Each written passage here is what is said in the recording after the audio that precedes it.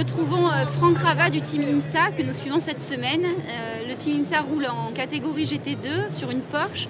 Alors, quelle est votre impression à la suite de cette première séance d'essai libre 4 heures un petit peu court, on n'a pas pu euh, faire tout le travail qu'on avait prévu.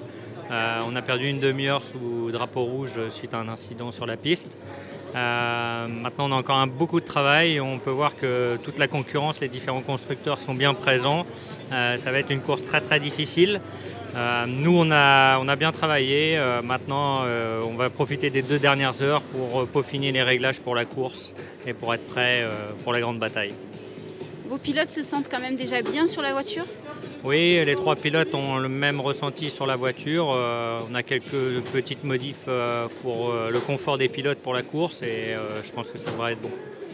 Pour les qualifs de tout à l'heure aussi, confiant les qualifs, euh, nous, on s'accorde peu d'importance à la qualif. Euh, il faut vraiment travailler. Les séances sont très courtes, donc il faut vraiment travailler pour la course. Et la qualif, euh, la place sur la grille de départ, il restera 24 heures pour être à l'arrivée. En effet, c'est toute l'endurance représentée comme ça. Pour votre équipe technique, tout est en place oui, ben là on a un petit peu de travail parce que dès le début de séance, on a pris un caillou au niveau du condenseur de climatisation qui a été percé. Donc il faut qu'on remplace le condenseur. Euh, donc dépose de tout le bloc avant, un petit peu de travail et au niveau des fonds plats, euh, un petit peu de modif.